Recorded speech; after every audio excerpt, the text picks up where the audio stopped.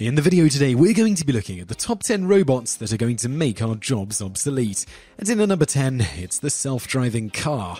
Companies like Google and Bosch have been developing self driving cars for years. These automated vehicles have been taken on test drives for countless hours and have proven their worth time and time again. Remember, these cars don't have to be perfect, they just have to be better than us. By eliminating fatigue, distracted driving, boredom, and even blinking, they rule out human error right from the start. Their first commercial use will almost certainly be in the transportation of goods. With over 4 million people currently employed in the transportation business in the United States, this development could be a serious economic problem in the near future. It's no longer a matter of if, but rather when, these automated vehicles take over the road. Number 9. Baxter, the multi-purpose robot. Baxter can do many low skilled jobs like bartending, folding clothes, packing boxes, etc. It can learn what it has to do by looking at the people doing it, and it can be taught a multitude of actions that are in reach of his swirling arms. It works somewhat slower than people do, but the cost of maintaining it is a fraction of what a normal wage is, and its speed and accuracy are being improved on a daily basis. Similar robots have been around for some time now, acting as cashiers in grocery stores and fast food chains. With the recent protests around raising the minimum wage in the United States, more and more businesses are thinking about changing their human workforce into a mechanized one to stay competitive. Number 8. Briggo Coffee.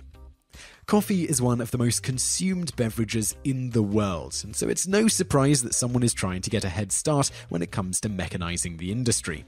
By developing a sophisticated robotic kiosk capable of making numerous types of coffee drinks with the push of a touch button, the Briggo company will be able to compete with some of the giants in the industry, like Starbucks and Tim Hortons. The technology will allow you to pre order your coffee before leaving your home. Through a phone app, Briggo will be able to know each customer's preference and make the exact same coffee every time, anywhere in the world.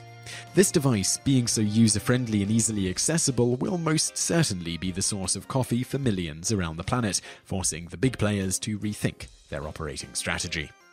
Number 7. Roxxxy, the other multi-purpose robot. Not even the oldest job in the world will be safe once Roxxxy hits the streets. She's designed by the True Companion Company to be the first ever sex robot. They've tried to make her as realistic as possible, not only in terms of anatomy, but in terms of personality. Her customers can choose from a variety of temperaments and emotions, ranging from shy to S&M mode. Weighing only 60 pounds, Roxxxy can perform a multitude of actions, which will let you imagine for yourselves. She can even come in different skin colors, body shapes, and with a knowledge of various foreign languages. Predictions made by some New Zealand researchers say that by 2050, the sex tourism business will be totally revolutionized by robots such as Roxxxy, arguing that robot sex is safer sex, free from constraints, precautions, and uncertainties of the real deal. But don't despair, ladies, the company is also designing a male version called Rocky. Number 6. iCub, the Talker. The iCub is a toddler looking robot capable of understanding different languages and responding accordingly. Like Baxter, the iCub is able to learn from people, but more in terms of languages and speech patterns. The ultimate goal for the team in charge of iCub is to make it resemble a human being as much as possible. Besides speech, it's also been taught to crawl on all fours like a baby and stand up and manipulate things around it. They're currently trying to give it the sense of touch and the ability to recognize how much force is needed to safely interact with each object in its environment. Number 5. SAFFiR, the firefighter. The US Navy has created a shipboard autonomous fighting robot called SAFFiR designed to fight fires. This 5 foot biped humanoid robot is capable of detecting fires, operating the nozzle on hoses, navigating obstacles, and keeping its balance in all kinds of sea conditions. It's currently being tested on a decommissioned Navy ship, which is regularly set on fire for this purpose. The end result will be a fully autonomous robot fitted with a series of sensors like gas sensors, infrared, and UV cameras, making the SAFFiR capable of seeing through thick smoke and recognizing areas with excessive heat. It will also have knowledge of the ship's layout, will regularly patrol the vessel in search of any potential risks, and will even interact with the crew for better coordination in case of a disaster.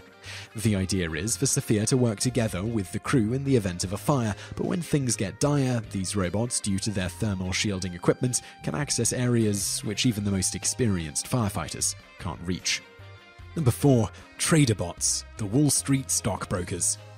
Besides the tangible world, where we can actually see robots in action, the digital world is also beginning to get crowded with all sorts of AIs. Some of these software bots are already trading with each other on the stock markets, and what's fascinating about them is that they're a result of a series of algorithms and neural networks capable of predicting stocks. They're designed in such a way that these electrical minds can learn from each other or resolve problems which they haven't faced before. This development into bot creation lowers the need for supervising humans taking part in Wall Street. That's why today the floor of the New York Stock Exchange is no longer a tightly packed room full of people screaming at each other and throwing sheets of paper every which way, but rather more of a TV newsroom broadcasting the events taking place. Number 3. Watson, the Doctor. This technological marvel is the product of IBM and wants to be a doctor. It's already capable of storing much more medical data about illnesses, patient histories, and drug compatibilities and reactions than any human doctor ever could. It will even be available on our phones in the not too distant future, and will also be able to understand people describing their ailments in their own words across many languages.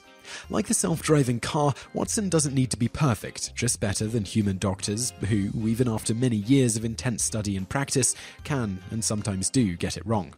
These unfortunate and inevitable accidents happen not because doctors are sloppy or aren't prepared, but because the entire medical database is extremely vast and increasing every day. No one person will ever be able to know it all. Watson, on the other hand, will be the entire accumulation of human medical knowledge and can be a great tool in helping doctors make the right decision, at least in the beginning. Number 2. Digital Aristotle, the teacher. Like the original flesh and blood Aristotle of ancient times, regarded by many as the perfect tutor, so will be the case for his digital version. While still in the conceptual stage, the concept is exciting. Many of us agree that the current education system of a one size fits all curriculum isn't ideal.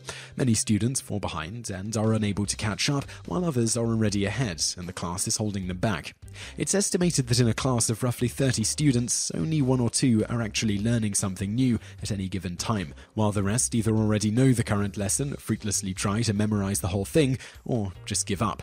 Digital Aristotle aims to be personalized for each student aiding them at their own pace and offering new and interesting information so everyone is always engaged in learning. Like Watson, Digital Aristotle will essentially be a huge database of up to date human understanding that can even help researchers and scientists in their work. Number 1. The Artists. There's such a thing as a creative bot, and her name is Emily Howell. She creates music that can't be distinguished from music written by human composers in a blind test. Other programs out there can write news articles and monthly reports that white collar workers have to fill out on a regular basis. Whether you've picked up a newspaper lately or keep up with the news on the internet, chances are that you've already read a story written by a bot and didn't even realize it. And then there are your painting bots, like watercolor bots, which can replicate any digital painting in the real world, or eDavid, which can be taught a specific painting style, like Impressionism, and then replicate an image or photo in that style. While E. David isn't creative in the true sense, it alone decides where shades need to be added, or what colors to use. All these robots are only a small part of what's to come in terms of mechanizing human activities, but we can only speculate as to the kind of future they'll provide for us.